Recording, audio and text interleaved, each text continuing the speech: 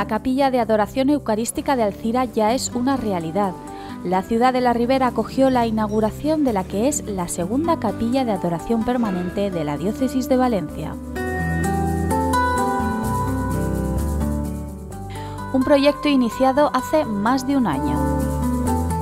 Bueno, pues la iniciativa es de don Carlos, nuestro arzobispo, que ahora está en Madrid, y él es el que pues em, insiste en la necesidad de mm, instalar más capillas de la adoración. Entonces, a través precisamente de un párroco de Alcira, don Francisco Claramunt, él de alguna manera fue un poco el artífice de la capilla en Alcira, eh, se puso en contacto con personas responsables de la capilla de Valencia y entonces vinieron a Alcira a ver qué parroquia, qué capilla podía ser idónea para, para esto, ¿verdad? Vieron que la única parroquia que reunía las condiciones buenas para instalar esta capilla era la parroquia de San Juan.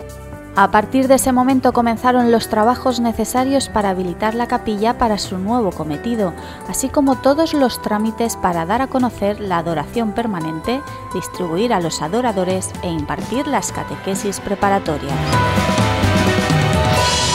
Un proceso que ante el cambio de arzobispo volvió a ser prioritario para el nuevo titular de la archidiócesis, el cardenal Cañizares.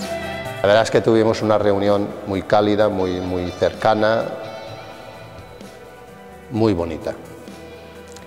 Y él ya llegó allí a la reunión con nosotros con la agenda. Entonces dice, esto quiero ya. Coge la agenda y pues para el día 23 de noviembre vamos a hacer la inauguración de la capilla. Así fue, el pasado 23 de noviembre la capilla fue inaugurada por el arzobispo de Valencia, el cardenal Antonio Cañizares. El purpurado presidió una Eucaristía en la parroquia de Santa Catalina de Alcira, en la que agradeció tanto a la localidad como a los adoradores la puesta en marcha de la capilla. Adorar, de alguna manera, es entregarse a Él, es reconocer que somos de Él y para Él, es ofrecerse a Él es dejar que Él viva en nosotros y sea nuestro dueño y Señor.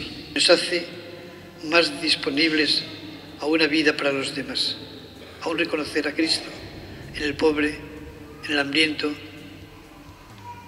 en el que está desnudo, en el que no tiene casa, en el emigrante, en tantos y tantos que efectivamente tienden su mano porque piden, piden que mostremos el rostro de Dios, adorarle de verdad, es sencillamente hacer lo que Él hace, identificarse con su querer para mostrar ese querer suyo a todos los hombres.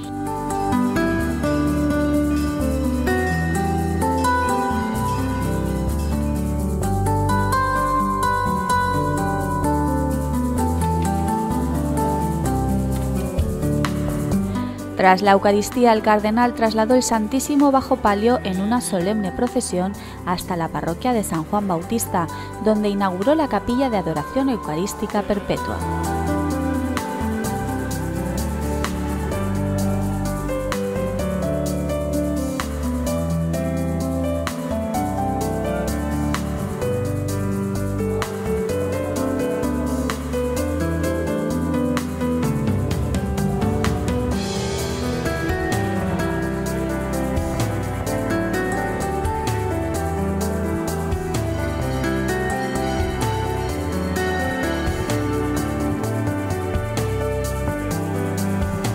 Concluida la inauguración, el Santísimo quedó expuesto y así permanecerá las 24 horas todos los días del año.